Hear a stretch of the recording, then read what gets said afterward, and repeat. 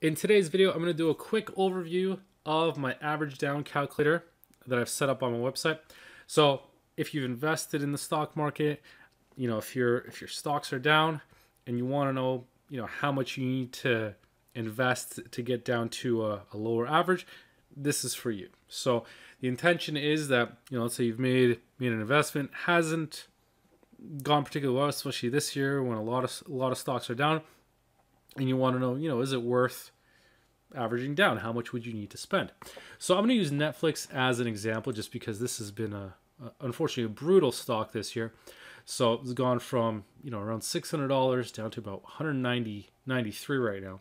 So let's pretend, you know, we invested $10,000 at around, you know, $500 uh, a share, right?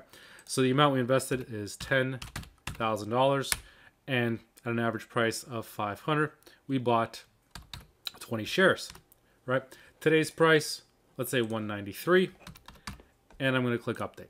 And so how it works is it's going to tell you how much you need to invest. So it's going to jump by increments of $1000 so there's 20 20 data points on here. And then the number of shares you need to buy and what your new average would be. So if your average price was $500, then investing $1,000 at this current price will get you down to 436, right? So obviously the more you invest at the lower price, the more you can bring your average down. For instance, investing $10,000, you'd have to you'd buy 50 you'd own 51 51 more shares and then your new average price would then be $278.51. And so I'll do a, a, quick, some quick math just to prove this out. So let's say a $10,000 investment at 193. That's where we got 51.81 shares. And then our total investment would be, you know, 10,000 plus another 10,000, so $20,000 divided by, you know, the 20 existing shares plus the new shares of 51.81.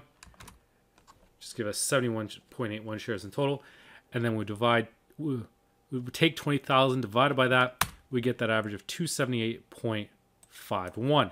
So that's how that works.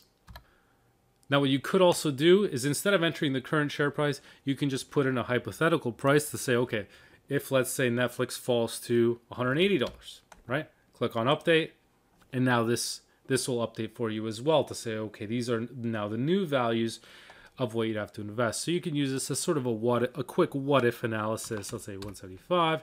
You know, let's say if it spikes up to, to 200. You know, is it worth investing in? If you're going to invest thousand dollars, you know, is that enough of a, an improvement in your average that it makes it worth your time?